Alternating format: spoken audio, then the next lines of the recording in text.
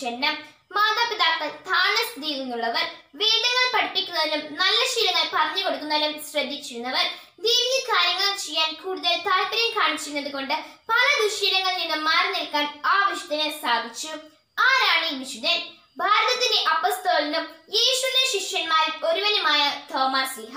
ഉദാരശീലനായി വളർന്ന തോമസ് ലിഹ ധീരന്മാരുടെ തൊഴിലിനെ തൃപ്തിയോടും കൂടി സ്വീകരിക്കുകയും സകല ലൗകിക സുഖ സന്തോഷങ്ങളും പരിത്യജിക്കുകയും ചെയ്തു. ദിദിമോസ് എന്നാണ് തോമസ് ലിഹ ഗ്രീക്ക് ഭാഷയിൽ അറിയപ്പെടുന്നത്. ഇത് സിറിയക് അല്ലെങ്കിൽ അറമൈക് ഭാഷയിൽ നിന്നുള്ളതാണെന്ന് കരുതപ്പെടുന്നു.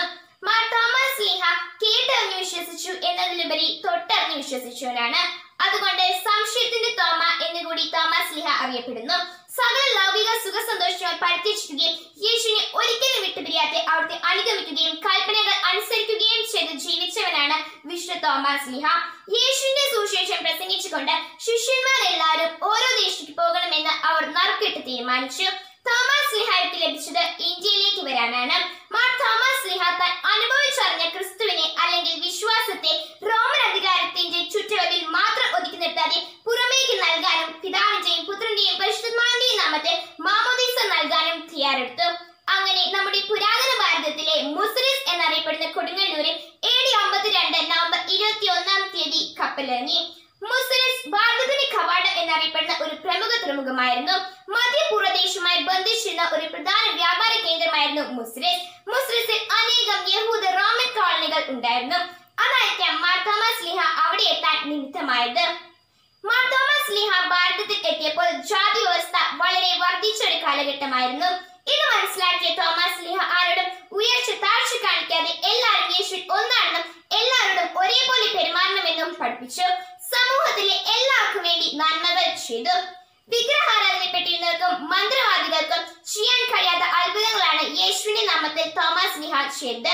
മാർ തോമസ് നിഹ ഭാരതത്തിൽ ക്രൈസ്തവ വിശ്വാസം വളർത്തിച്ചതിന്റെ ഫലമായി ഏഴ് സ്ഥലങ്ങളിൽ ക്രൈസ്തവ സമൂഹങ്ങൾ സ്ഥാപിച്ചു.